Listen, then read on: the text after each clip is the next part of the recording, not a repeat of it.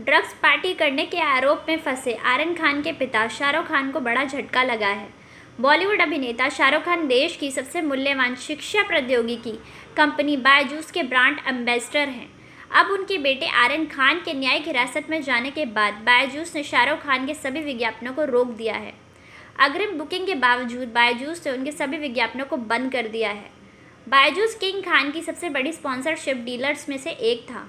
बता दें, इसके अलावा वह एल दुबई टूरिज़्म और रिलायंस जियो जैसी कई कंपनियों के लिए भी चेहरा हैं। बता दें कि बैजूस ब्रांड को एड्रॉस करने के लिए शाहरुख खान को सालाना तीन से चार करोड़ रुपए का भुगतान करती है। अभिनेता 2017 से इस कंपनी के ब्रांड एम्बेसडर हैं।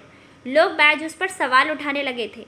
बता दें कि शाहरुख खान को अपना ब्रांड एम्बेसडर बनाकर कंपनी क्या संदेश देना चाहती है? सप्ताह बायजूस ने 30 करोड़ डॉलर की बड़ी फंडिंग जुटाई थी। इसके बाद जबकि साल की शुरुआत पिछले फंडिंग राउंड के बाद बायजूस की वैल्यू 1.6.5 अरब डॉलर थी।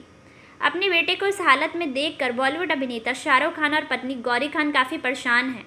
दोनों अपने बेटे को ज़मानत दिलाने के लिए हर संभव कोशिश कर रहे हैं, लेकिन लाख कोशिश के बाद भी आर्यन खान को बेल नहीं मिल सकी। आर्यन खान और अन्य आरोपियों को ऑथर जेल में तीन से पाँच दिनों के लिए क्वारंटाइन सेल में रखा जाएगा। हालाँकि इनकी कोरोना जाँच में रिपोर्ट नेगेटिव आई है। लेकिन जब भी कोई नया आरोपी इस जेल में आता है तो उसे कुछ दिनों तक इस क्वारंटाइन सेल में रखा जाता है। Bureau report the daily news.